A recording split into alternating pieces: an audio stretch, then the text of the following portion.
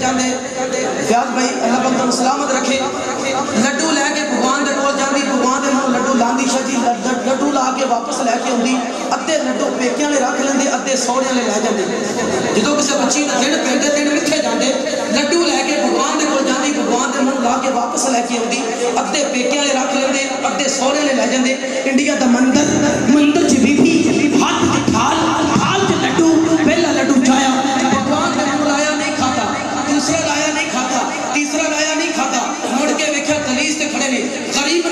خواجہ معین الدین چشتی اجمیری کھڑے میں سید صاحب دی گل کیتی آنے نبی اللہ دی علی دی تہاڈی سبحان اللہ دی آواز کاٹے گج کے بولو ذرا سبحان اللہ خواجہ معین الدین چشتی اجمیری کھڑے نے آپ نے فرمایا بھگوان تیتیاں نے ترلے پہ کر دی تے کھاتا کیوں نہیں؟ چل کھا لڈو۔ قسم خدا دی جدو پیر صاحب نے اشارہ فرمایا تے بھگوان لڈو کھا گیا۔ بی بی گئی بی بی جا کے دسیا کہ لڈو انہوں نے پوچھا لڈو کتنے انہوں نے کہا بھگوان کھا گیا۔ انہوں نے کہا بھگوان تے لڈو کھانا ہی نہیں۔ انہوں نے کہا تھوڑا نہیں کھاتا میرا کھانا ہے۔ چالی ہزار ہندو چک جان گئے۔ بی بی ہون جاویں کھوا، ساڈی سرکار نہ کھوا سکی، سر قلم کر دیا گی۔ شرط منظور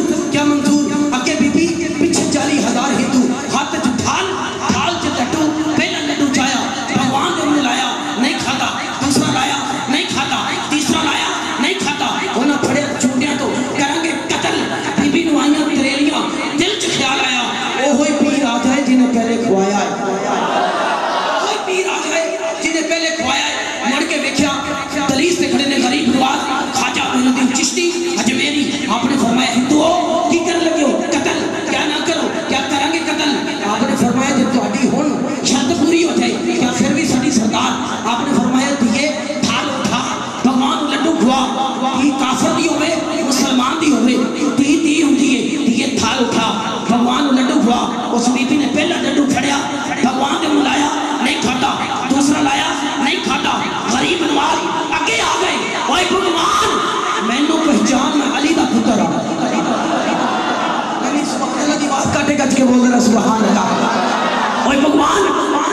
مینوں پہچان میں علی دا پتر ہوں، قسم خدا دی چالی ہزار ہندو چالی ہزار ہندو، دیکھتے نے مجمع، بابا جی نے فرمایا، بھگوان، مینوں پہچان، میں علی دا پتر ہوں، قسم خدا دی، بھگوان مٹی دا بنیا، ہاتھ کھول لے، تھال لڈواں دا کھا گیا تھال لڈواں دا کھا گیا چالی ہزار ہندو، بابے نے قدمہ چ، بابا تو کون ہے؟ تے کتھوں آیا؟ تیرا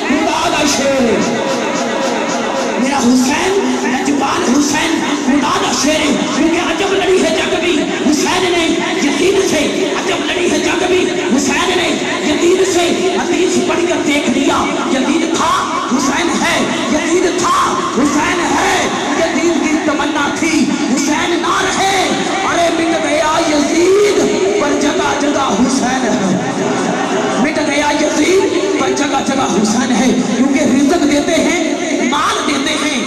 رزق دیتے ہیں، مال دیتے ہیں۔ حضرت دل نکال دیتے ہیں۔ کسی اور سے بلا کیوں مانگے؟ ہمیں تو زہرا کے لال دیتے ہیں۔